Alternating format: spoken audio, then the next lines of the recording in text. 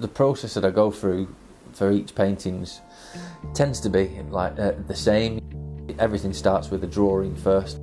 I like the juxtaposition of doing cartoons but using the, the, the, same process as Renaissance painters.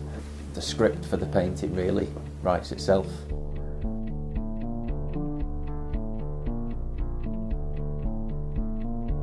I just went surfing on a, a, Sunday afternoon. I was supposed to be going down to meet uh, a mate of mine, but couldn't find him, so I was just surfing on my own for a while. And I knew to be wary of sandbars and caught a wave, and obviously I've just drifted over a sandbar. The wave's gone over the sandbar and it's gone miles bigger than I anticipating it to be, and it's just just turned me upside down and landed me on my head. I couldn't move my fingers, couldn't turn my hands over. I got rolled around in the next uh, uh, few waves. It's not that I thought I was going to die, I knew I was going to die. Real nice guy called Chris, just um, he was out teaching his daughter how to surf. Uh, he found us in the in, in the water, cut my uh, board off me or undid my board, put me on um, his daughter's foamy and just used it as a, a stretcher to get me out and uh, pulled me out. You know, I'd fallen directly on my head and the biggest bone in my neck's broken, which means there's no signal getting down after that C7 bone there. And I'm paralysed from the chest down.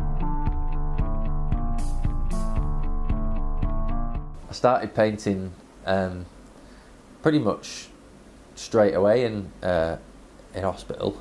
Made some little paintings for me um, for the staff that looked after me, and then just basically carried on from there. The accident like paralysed my fingers as well, and I didn't get left with the full range of motion in them, so I could move them a tiny little bit. So that affected me because I, I couldn't do anything the same as I could do it before. Every little act that I ever did, I had to learn a new way to do. Now, when you're in hospital, they just give you, for exercise for your hands, they give you a bag of nuts and a bag of bolts, and they just say, put the nuts on the bolts, and then once you're done, take the nuts off the bolts. But my hobby that I that I love doing art, that's all it is. It's just picking up tubes of paint, twisting the top off, putting the top back on. I just had this like really, really lightweight hobby that was awesome for your dexterity, and it's just unbelievable like how much it's helped my hands, and that's why in, in my original paintings revolving around spinal cord injury, I really put like an emphasis on the hands.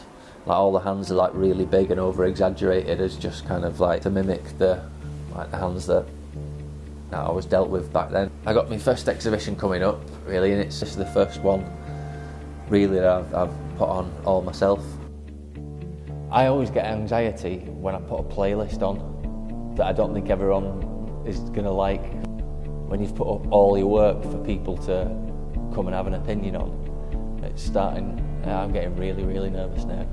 To, if someone says, right, um, you know, I'm interested in you exhibiting at my gallery next year, that's a, that's a stepping stone, you know, to to carry on a career in this. The accident has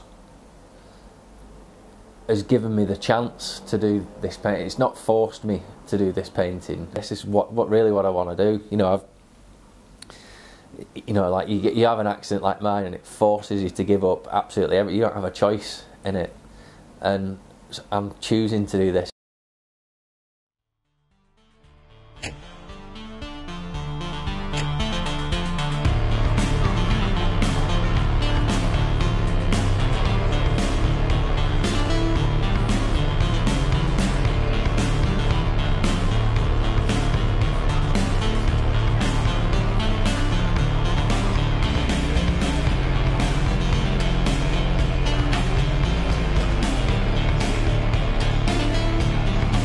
So many people have said it's nice to go in a gallery and understand what I'm looking at, you know, which is kind of my sentiments exactly. I'm always going to be as critical as, of myself as I am. I'm always trying to become better than than my last one. And I think any kind of artist, doesn't matter what medium you're working, always thinks that.